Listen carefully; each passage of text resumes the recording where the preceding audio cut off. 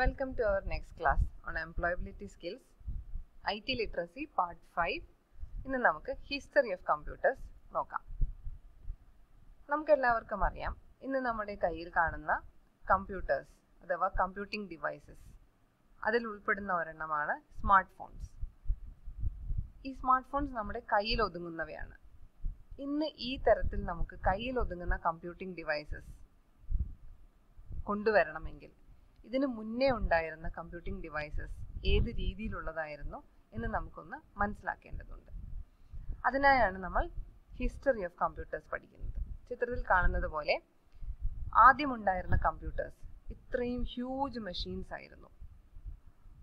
നിങ്ങൾക്ക് കാണാം രണ്ടോ മൂന്നോ നാലോ റാക്സിലായിട്ട് അടുക്കി വെച്ചിരിക്കുന്ന വലിയ വലിയ വാക്യൂം ട്യൂബ്സ് ചേർന്ന കമ്പ്യൂട്ടിംഗ് ഡിവൈസസ് ആയിരുന്നു അന്നത്തെ കമ്പ്യൂട്ടേഴ്സ് അതിനുശേഷം സെമി കണ്ടക്ടർ ടെക്നോളജി ഇൻവെന്റ് ചെയ്തു.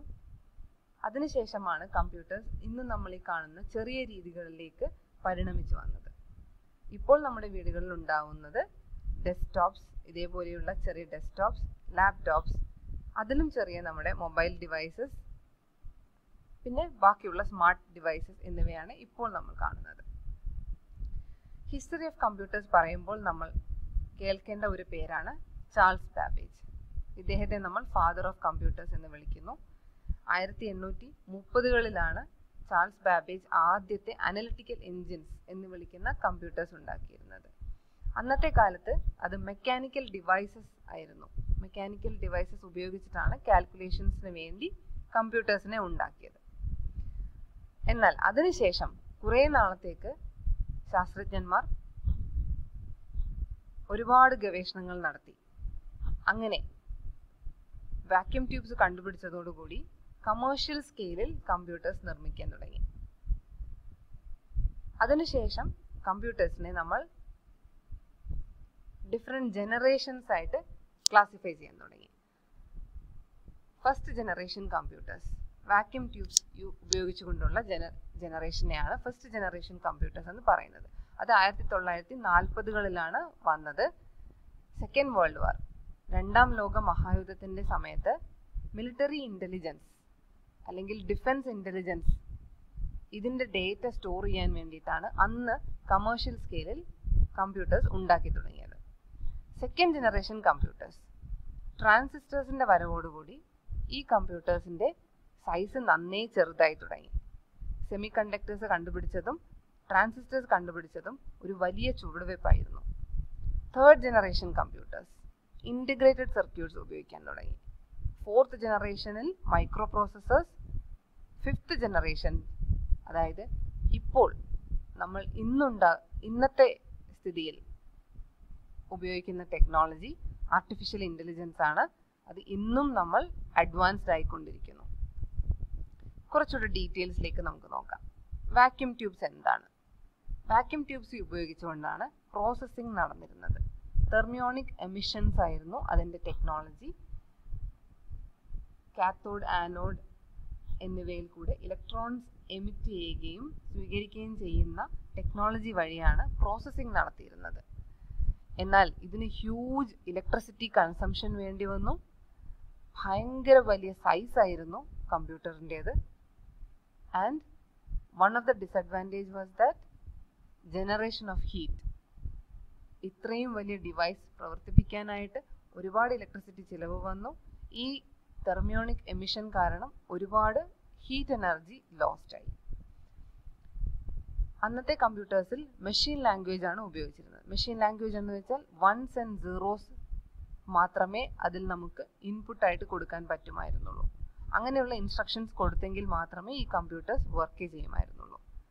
ഇൻപുട്ട് കൊടുത്തിരുന്നത് പഞ്ച്ഡ് കാർഡ്സ് അത് ഒരു ഫിസിക്കൽ ഡിവൈസ് ആണ്. പഞ്ച്ഡ് കാർഡ്സ് വഴിയാണ് ഇൻപുട്ട് കൊടുത്തിരുന്നത്.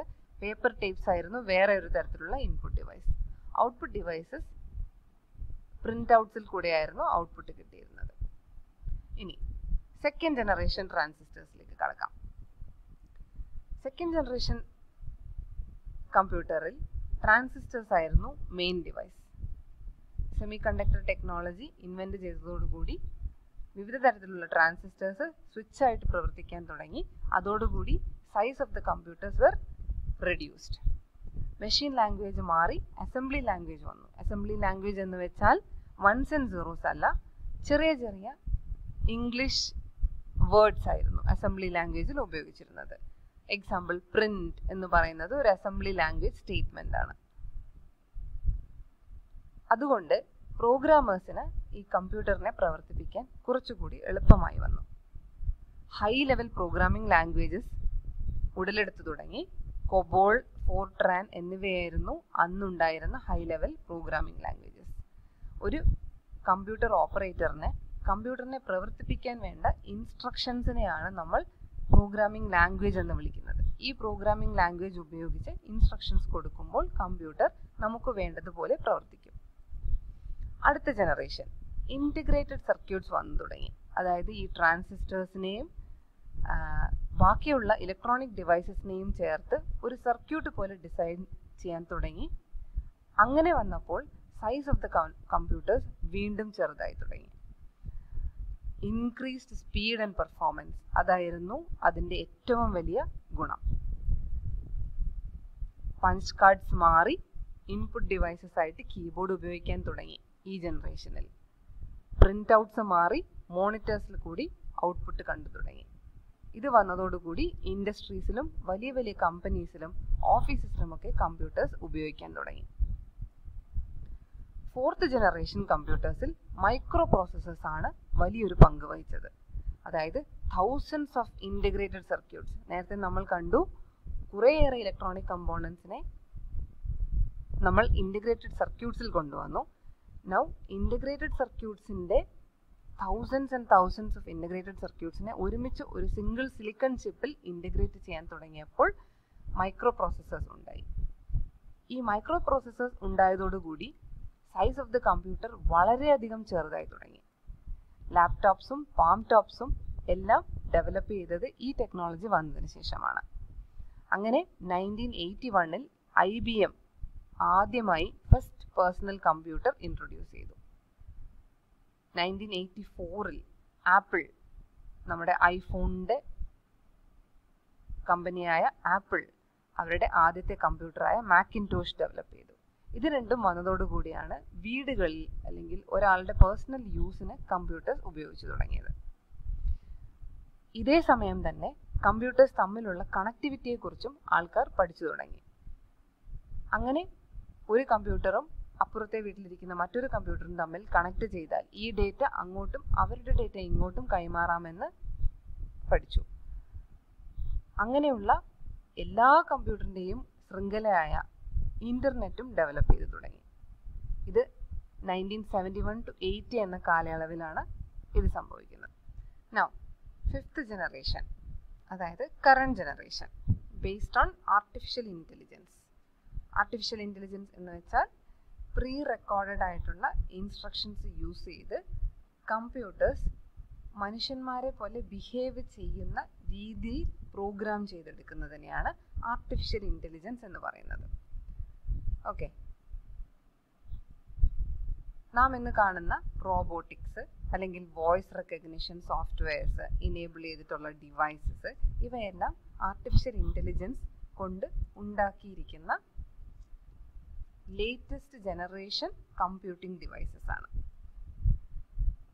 അലക്സ അല്ലെങ്കിൽ നാം കമേഴ്ഷ്യലി കാണുന്ന റോബോട്ട്സ് ഇവയെല്ലാം ഇതിന്റെ പ്രോഡക്റ്റാണ് മൈക്രോ പ്രോസസ്സർ ചിപ്സിൽ ടെൻ മില്യൺ ഇലക്ട്രോണിക് കമ്പോണൻസ് വരെ ഒരുമിച്ച് ചേർത്ത് വെച്ചിട്ടാണ് ഇതേപോലെയുള്ള സ്മാർട്ട് ഡിവൈസസ് നാം ഉണ്ടാക്കുന്നത്. ഈ പരീക്ഷണങ്ങൾ ഇപ്പോഴും കണ്ടിന്യൂ ചെയ്യുന്നു.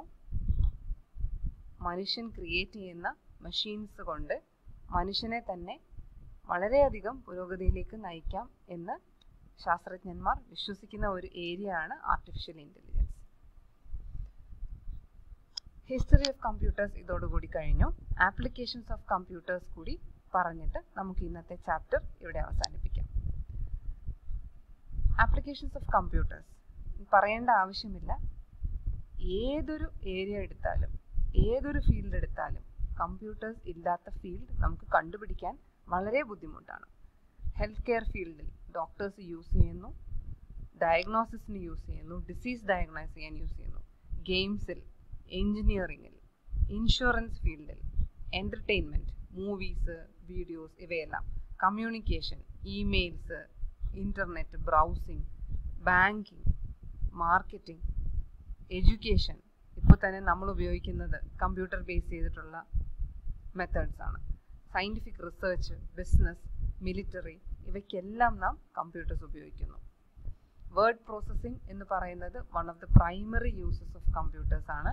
സ്പെല്ലിങ്സും ഗ്രാമർ മിസ്റ്റേക്സും ഒന്നുമില്ലാതെ നമുക്ക് ഡോക്യുമെന്റ്സ് ഉണ്ടാക്കാൻ കമ്പ്യൂട്ടർ വളരെയധികം ഉപയോഗപ്രദമാണ്.